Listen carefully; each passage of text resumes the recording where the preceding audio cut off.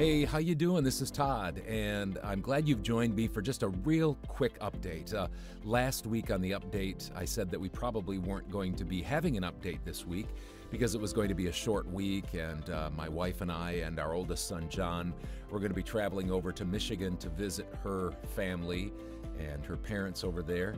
Uh, but I just thought I'd hop on here for just a quick minute or two and just wish you and yours a very happy holiday season. We're just a couple of days before uh, Christmas Day, and um, we talk about you folks all the time and uh, kind of feel like you are becoming part of our family. And we just appreciate the opportunity to get to know you better.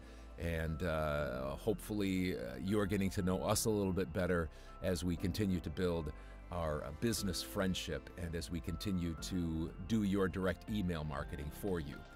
So, again, thank you very much. And uh, again, uh, happy holidays. Be safe. And uh, we hope to see you next week about this same time. I just wanted to get you updated on my week. Of course, it is Thursday, and things are slowing down quite a bit, both on the platforms and my direct email marketing. Probably are for you, perhaps, maybe not. Maybe you're having a banner uh, week. Uh, if so, great. That's fantastic. For me, I had a, a, a, really pretty good first couple of days, and now it's been slowly petering out a little bit, which is just fine.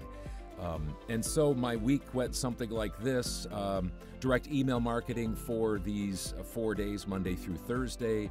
$2,789, $2,789, and my platform's $1,066.40 for a grand total of $3,855.40 for this uh, week before Christmas shortened week.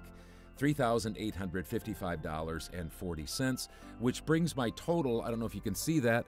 It, I crossed out those last two uh, from the last two weeks, and it comes to 3,000. Uh, $314,677 for the year.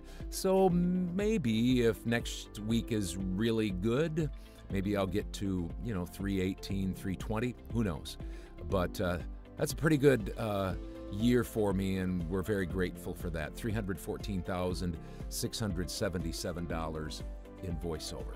So, again, have a safe, happy, healthy holiday season, and we will talk to you soon. Bye.